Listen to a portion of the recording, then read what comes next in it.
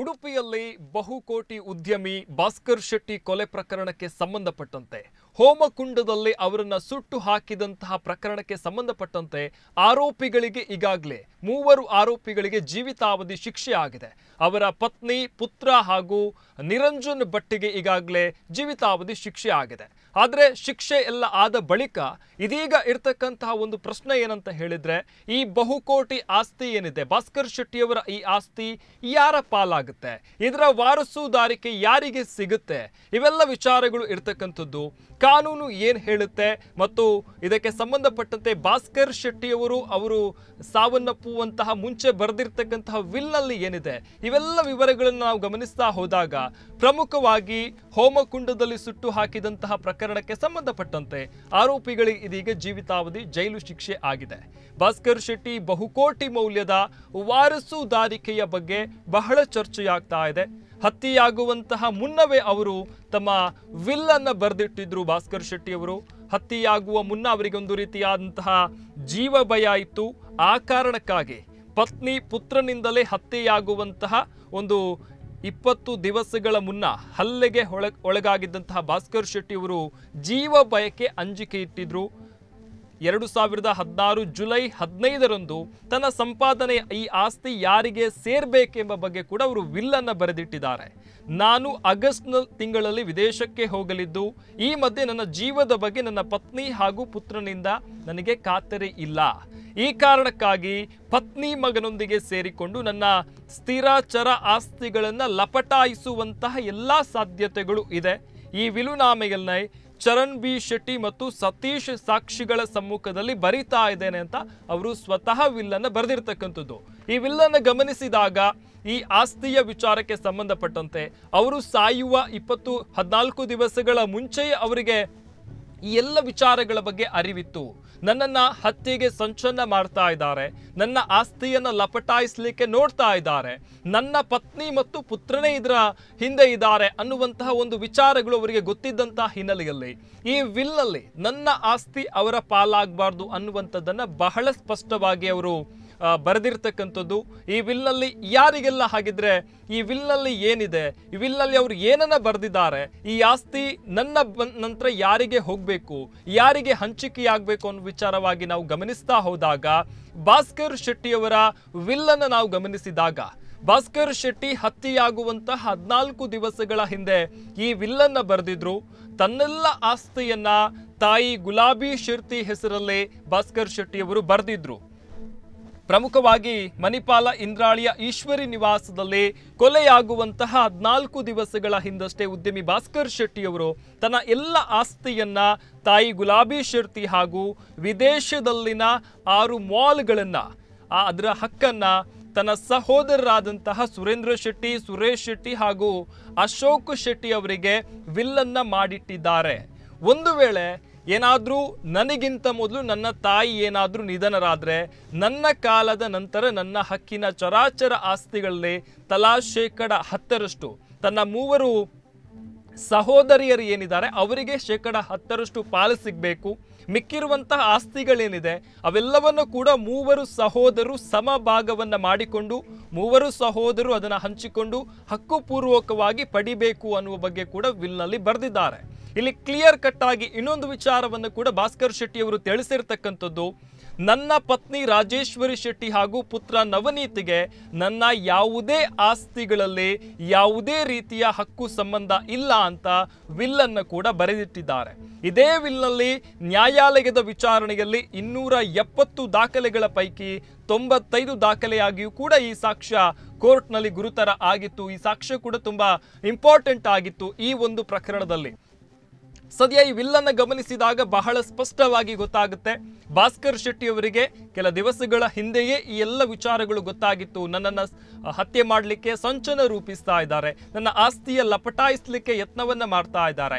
ಆ ಕಾರಣಕ್ಕೋಸ್ಕರ ಬಹಳ ಕ್ಲಿಯರ್ ಕಟ್ ಆಗಿ ವಿಲ್ಲಲ್ಲಿ ಅವರು ಬರೆದಿರ್ತಕ್ಕಂಥದ್ದು ನನ್ನ ಆಸ್ತಿಯಲ್ಲಿ ಎಲ್ಲ ಆಸ್ತಿಯ ಭಾಗಗಳನ್ನ ಸಹೋದರ ಮತ್ತು ಸಹೋದರಿಯರಿಗೆ, ಅದರಲ್ಲಿ ಹಂಚಿಕೆ ಮಾಡಿರ್ತಕ್ಕಂಥದ್ದು ಜೊತೆಗೆ ಎಲ್ಲ ಆಸ್ತಿಯ ಪ್ರಮುಖ ಹಕ್ಕನ್ನ ತಾಯಿಗೆ ನೀಡಿರ್ತಕ್ಕಂಥದ್ದು. ತಾಯಿ ಏನಾದರೂ ನಿಧನರಾದರೆ ಆ ಬಳಿಕ ಸಹೋದರ ಮತ್ತು ಸಹೋದರಿಯರಿಗೆ ಈ ರೀತಿಯಾದಂತಹ ಬಹಳ ಕ್ಲಿಯರ್ ಕಟ್ ಆದಂತಹ ವಿಲ್ಲನ್ನು ಬರೆದಿರ್ತಕ್ಕಂಥದ್ದು.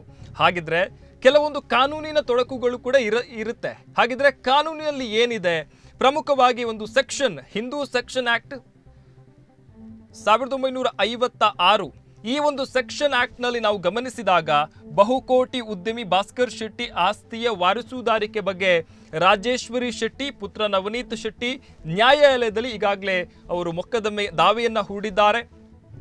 ಈ ಸೆಕ್ಷನ್ ಅಡಿಯಲ್ಲಿ ಗಮನಿಸಿದಾಗ ಓರ್ವ ವ್ಯಕ್ತಿ ಕೊಲೆಯನ್ನ ಮಾಡಿದರೆ ಅಥವಾ ಕೊಲೆಗೆ ಪ್ರಚೋದನೆಯನ್ನ ನೀಡಿದರೆ. ಆ ಕೃತ್ಯಕ್ಕೆ ಆಸ್ತಿಯ ವಾರಿಸುವುದಾರರು ಏನಾದರೂ ಕಾರಣ ಆದ್ರೆ. ಈ ಆಸ್ತಿಯ ವಾರಸುದಾರು ಯಾರಿದ್ದಾರೆ? ಈಗ ಭಾಸ್ಕರ್ ಶೆಟ್ಟಿಯ ಬಳಿಕ ಅವರ ಪತ್ನಿ ಮತ್ತು ಪುತ್ರನಿಗೆ ಈ ಆಸ್ತಿಯಲ್ಲಿ ಒಂದು ಸಾಮಾನ್ಯವಾಗಿ ಗಮನಿಸಿದಾಗ ಅವರಿಗೆ ಅದರಲ್ಲಿ ಹಕ್ಕಿರುತ್ತೆ. ಆದರೆ ಸದ್ಯ ವಿಲ್ಲಲ್ಲಿ ಬರೆದಿರ್ತಕ್ಕಂಥದ್ದು ಒಂದು ವಿಚಾರ ಆದರೆ, ಇಲ್ಲಿ ಆ್ಯಕ್ಟ್ನಲ್ಲಿ ಗಮನಿಸಿದಾಗ ಈ ಆಸ್ತಿಯ ವಾರಸುದಾರರಾಗಿರ್ತಕ್ಕಂತಹ ಪತ್ನಿ ಅಥವಾ ಪುತ್ರನೇ ಇದರಲ್ಲಿ ಭಾಗಿಯಾಗಿರುವುದರಿಂದಾಗಿ ಅವರಿಗೆ ಈ ಒಂದು ಆಸ್ತಿಯ ಹಕ್ಕಿನಿಂದ ಅವರು ಅನರ್ಹರಾಗ್ತಾರೆ. ಈ ಬಗ್ಗೆ ಓರ್ವ ಹಿರಿಯ ಕಾನೂನು ತಜ್ಞರು ಕೂಡ ಇದನ್ನು ಉಲ್ಲೇಖ ಮಾಡಿ ಹೇಳಿರ್ತಕ್ಕಂಥದ್ದು. ಸದ್ಯ ಇಲ್ಲಿರ್ತಕ್ಕಂತಹ ಪ್ರಶ್ನೆ, ಈ ಆಪಾದಿತರಾಗಿರುವಂತಹ, ಆರೋಪಿತರಾಗಿರುವಂತಹ, ಅಪರಾಧಿಗಳಾಗಿರ್ತಕ್ಕಂತಹ ಪತ್ನಿ ಮತ್ತು ಪುತ್ರನಿಗೆ ಈ ಆಸ್ತಿಯಲ್ಲಿ ಹಕ್ಕು ಸಿಗುತ್ತಾ? ಅವರಿಗೆ ಈ ಆಸ್ತಿಯಲ್ಲಿ ಅವಕಾಶಗಳು ಇದೆಯಾ? ವಿಲುನಾಮೆಯ ಬರೆದಿರುವುದರಿಂದ ಆಸ್ತಿಯ ವಿಚಾರ ಈಗ ದೊಡ್ಡ ಒಂದು ಪ್ರಶ್ನೆಯಾಗಿ ಉಳಿದಿರತಕ್ಕಂಥದ್ದು. ಯಾರಿಗೆ ಸಿಗುತ್ತೆ? ಸದ್ಯ ಇವರು ಕೋರ್ಟಿಗೆ ದಾವೆ ಹೂಡಿರೋದ್ರಿಂದ ತಾಯಿ ಮತ್ತು ಸಹೋದರರಿಗೆ ಭಾಸ್ಕರ್ ಶೆಟ್ಟಿಯವರು ವಿಲ್ಲನ ಬರೆದಿದ್ರೂ ಕೂಡ ಒಂದು ಹಕ್ಕಿನಡಿಯಲ್ಲಿ ಇವರಿಗೆ ಸಿಗುವಂತ ಸಾಧ್ಯತೆಗಳು ಇದೆಯಾ?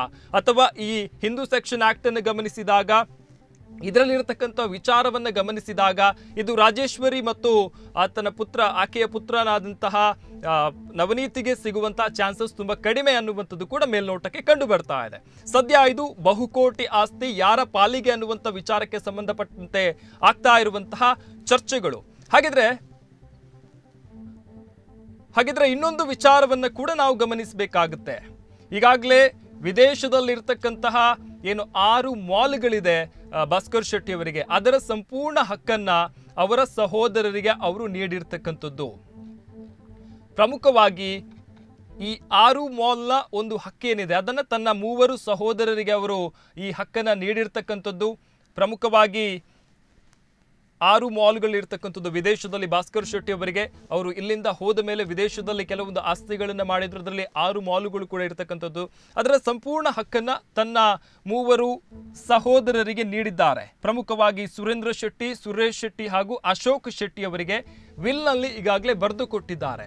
ಈ ಕಾರಣದಿಂದಾಗಿ ಈ ನನ್ನ ಅವಧಿಯ ಬಳಿಕ ಇದರ ಸಂಪೂರ್ಣ ಹಕ್ಕು ಸಹೋದರರಿಗೆ ಅನ್ನುವಂತಹ ವಿಚಾರವನ್ನ ವಿಲ್ನಲ್ಲಿ ಬರೆದಿಟ್ಟಿರೋದ್ರಿಂದ ಈ ವಿದೇಶದಲ್ಲಿರ್ತಕ್ಕಂತಹ ಆರು ಮಾಲುಗಳು ಕೂಡ ಸಹೋದರರಿಗೆ ಸಿಗುತ್ತೆ ಮತ್ತು ಅವರಿಗೆ ಅದು ವಿಲ್ನಲ್ಲಿ ಬರೆದಿರೋ ಪ್ರಕಾರ ಅವರಿಗೆ ಅದು ಹಕ್ಕಿರುತ್ತೆ ಅನ್ನುವಂಥದ್ದನ್ನು ಕೂಡ ನಾವು ಗಮನಿಸಬೇಕಾಗುತ್ತೆ.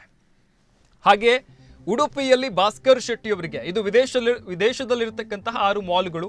ಹಾಗಿದ್ರೆ ಉಡುಪಿಯಲ್ಲಿ ಇರ್ತಕ್ಕಂತಹ ಭಾಸ್ಕರ್ ಶೆಟ್ಟಿ ಅವರಿಗೆ ಇರ್ತಕ್ಕಂತಹ ಆಸ್ತಿಯ ವಿವರಗಳನ್ನು ಗಮನಿಸಿದಾಗ ಉಡುಪಿ ತಾಲೂಕಿನ ಮೂಡನಿಡುಂಬೂರು ಗ್ರಾಮದ ಶಿರಿಬೀಡು ವಾರ್ಡ್ನಲ್ಲಿ ಇಪ್ಪತ್ತಾರು ಸೆನ್ಸ್ ಸ್ಥಿರಾಸ್ತಿ ಹಾಗೂ ಇದರಲ್ಲಿ Shri Durga international hotel ಕಟ್ಟಡ, ಬಾಡಿಗೆ ಅಂಗಡಿ ಕೋಣೆಗಳು ಕೂಡ ಇರತಕ್ಕಂಥದ್ದು. ಇದು ಉಡುಪಿಯ ಮೂಡನಿಡಂಬೂರು ಗ್ರಾಮದ ಶಿರಿಬೀಡುನಲ್ಲಿರ್ತಕ್ಕಂತಹ ಆಸ್ತಿಯ ವಿವರ.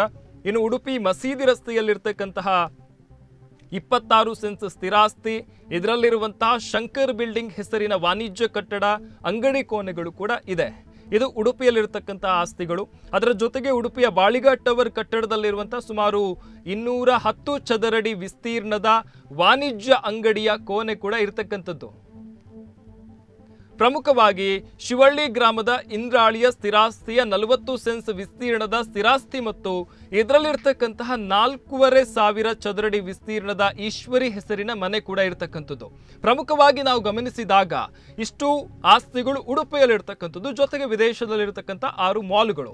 ವಿದೇಶದಲ್ಲಿರ್ತಕ್ಕಂತಹ ಆರು ಮಾಲ್ಗಳ ಬಗ್ಗೆ ಈಗಾಗಲೇ ಅವರು ಬಹಳ ಸ್ಪಷ್ಟವಾಗಿ ತಿಳಿಸಿದ್ದಾರೆ. ಅದು ಸಹೋದರರಿಗೆ, ಆ ವಿಲ್ನಲ್ಲಿ ಬರೆದಿಟ್ಟಿರ್ತಕ್ಕಂಥದ್ದು. ಉಡುಪಿಯಲ್ಲಿರ್ತಕ್ಕಂಥ ಇಷ್ಟು ಆಸ್ತಿಯ ಒಂದು ಹಕ್ಕಿ ಏನಿದೆ, ಅದು ಅವರ ತಾಯಿ ಗುಲಾಬಿ ಶೆಟ್ಟಿ ಅವರಿಗೆ ಇರ್ತಕ್ಕಂಥದ್ದು. ಅವರ ನಿಧನದ ನಂತರ ಈ ಆಸ್ತಿಯಲ್ಲಿ ಅವರ ಸಹೋದರರಿಗೆ ಶೇಕಡ ಹತ್ತರಷ್ಟು ಪಾಲು, ಆ ಬಳಿಕ ಉಳಿದಂತಹ ಆಸ್ತಿಯಲ್ಲಿ ಮೂರು ಪಾಲನ್ನ ಮಾಡಿ ಅದು ಸಹೋದರರಿಗೆ ಸಿಗುತ್ತೆ ಅನ್ನುವಂತಹದ್ದನ್ನು ಕೂಡ ವಿಲ್ನಲ್ಲಿ ಬರೆದಿಟ್ಟಿದ್ದಾರೆ. ಸದ್ಯ ಈ ಕಡೆಯಿಂದ ರಾಜೇಶ್ವರಿ ಶೆಟ್ಟಿ ಮತ್ತು ಪುತ್ರ ಒಂದು ದಾವೆಯನ್ನು ಕೂಡ ಈಗ ಕೋರ್ಟ್ನಲ್ಲಿ ಹೂಡಿರ್ತಕ್ಕಂಥದ್ದು. ಹಾಗಿದ್ರೆ ಈ ಆಸ್ತಿ ಯಾರ ಪಾಲಾಗುತ್ತೆ? ಕಾನೂನಿನ ಮತ್ತು ವಿಲ್ಲನ ಗಮನಿಸಿದಾಗ ಬಹಳ ಸ್ಪಷ್ಟವಾಗಿ ಗಮನಿಸುತ್ತೆ, ಗಮನಿಸಿದಾಗ ಇದು ಸ್ಪಷ್ಟವಾಗಿ ಗೋಚರಿಸುತ್ತೆ. ಇದು ಅವರ ಕುಟುಂಬಕ್ಕೆ ತಾಯಿ ಮತ್ತು ಸಹೋದರಿಗೆ ಸಿಗುತ್ತೆ ಅನ್ನುವಂಥದ್ದು. ಆದರೆ ಕೋರ್ಟ್ನಲ್ಲಿ ಇವರು ಹೂಡಿರ್ತಕ್ಕಂತಹ ದಾವೆ ಏನಾದರೂ ಕೋರ್ಟ್ ವಿಚಾರಣೆಯ ಬಳಿಕ ಏನಾಗುತ್ತೆ ಅನ್ನುವಂಥದ್ದು ಕಾದು ನೋಡಬೇಕಾಗಿದೆ.